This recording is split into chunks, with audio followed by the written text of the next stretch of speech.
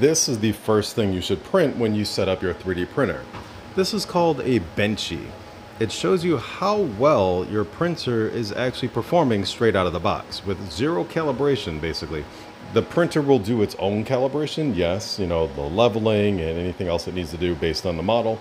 This is the Creality K2 Pro with the CFS combo unit. So it can actually print four filaments at the same time, which is quite cool. But right now we're just using a brown PLA filament and so far it's looking pretty good.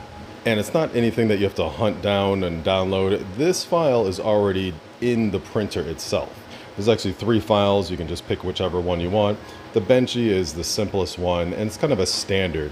If you, you know, Google any type of Benchy performance, then you'll have thousands of these videos of showing you what theirs actually looks like, and you can compare the outcome of yours to theirs.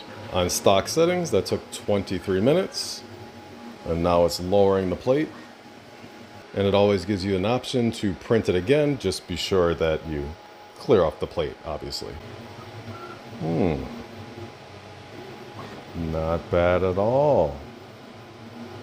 Not bad at all. And so for the station here, this is our crafting station. It's still being put together, but we have the HP Omen 35L, the Transcend 32, 32 inch monitor, the Creality K2 Pro combo unit, the Creality K1 Max with the CFS combo unit there, and Creality's Space Pi X4. So these are dryers for filament.